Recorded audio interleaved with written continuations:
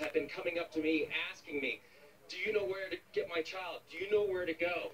At this point right now, I can't give you a definitive answer. We believe that the kids are going to be bused over to Cal State University San Bernardino. As I look behind me, I see some buses down the road. Ernesto, if we can, if we can, I think that these are the school buses with the kids on them. We can come out here. They've closed down this street, so we feel safe to come out here right now. As you can see, all the police officers have closed down Mountain Drive as well uh, at the intersection of North Park Boulevard, right here at Cajon High School. Now you see that emergency vehicle coming. That is heading west. Now just beyond that, around that curve, I saw at least two yellow school buses, and I know that the parents over here are looking very anxiously in that direction because we believe those buses have the kids, and we're hoping to find out exactly when they will be brought here. Sir, are the kids coming here? Hey.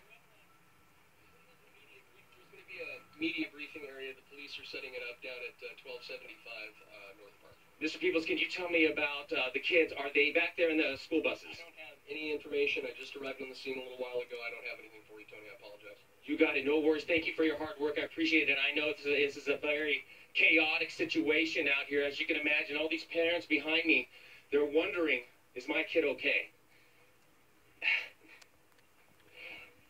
All right, so Tony Shin there on the Wow. I've got an elementary school kid How too, sad. so uh, it, it gets to me. I have a s uh, an eight-year-old son, so Oh my god, I can imagine what these uh, parents are going through. In fact, I want to bring in this lady right over here.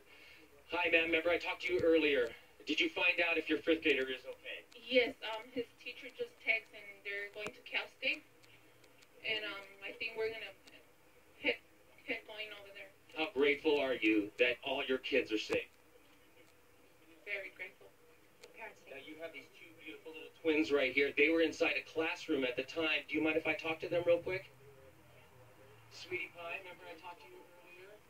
Tell me about what happened inside the classroom. Did you hear the teachers tell you something? I wasn't inside. I was I was doing PE with my Mrs. Swagger, and um and um and um all of the kids started running out, and and Mrs. Swagger started letting us lighting up lighting up in the gate. How Uh, scary was that for you, sweetie? super scary. How grateful are you to be here with your family and everybody else? Nice, comfortable, safe. Good for you. You're so glad, okay? Stay strong, okay? Mom, why here? Why, why at schools? Does it just dumbfound you that people do this? I don't know. That's not right. I don't know words to say. It makes you so angry, doesn't it?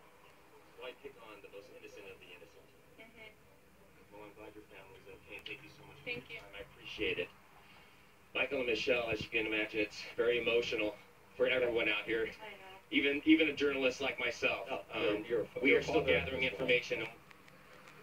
Yes, and uh, absolutely, and you know, this is as a as a parent, this is always a big fear because we know what has happened at Sandy Hook. We we know what has happened at Columbine. We know this is a potential every day. We live with it, and it's so scary and sad. All right, Tony Shin there. Uh, thank you for that uh, that brave little girl there on, on the scene. Feeling Again, safe. you can hear the fear and anxiety in her voice. So young, and, and again, able to get that story out there uh, for our viewers. Again, we, we just want to clear some things Yes. up because things have continued to change here in terms of pick up, drop off, where parents should be, where they shouldn't be. We're getting the word now that the original plan has been scrapped.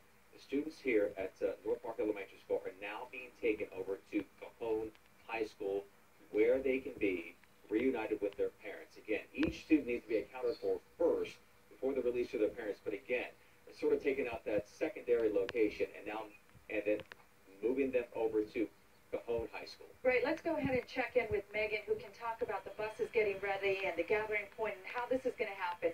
Uh, Megan. What Michelle, what they're doing right now is they are loading every single bus right now, and I think they're going to take them all at the same time to Cal State University San Bernardino. Now, again, there has been conflicting reports, uh, but they're emphasizing right now that parents will not be granted access to their students, or to their children, rather, at Cal State University San Bernardino. They want them to stage at Cajon High School. I know this is a very tense time, but they want to account for every single child before they release them to the parents. You can see the children are systematically being accounted for one by one, being taken onto the buses right now. This is North Park Boulevard, and they're going to follow North Park Boulevard to about a mile and a half west of here to Cal State University San Bernardino. Ironically, buses are going to pass Cajon High School where the parents are staging and waiting for their children, but that's how they're going to do it. The children are safe right now. They're with law enforcement officers, and they want to make sure they account for each and every child before they start releasing them to their parents.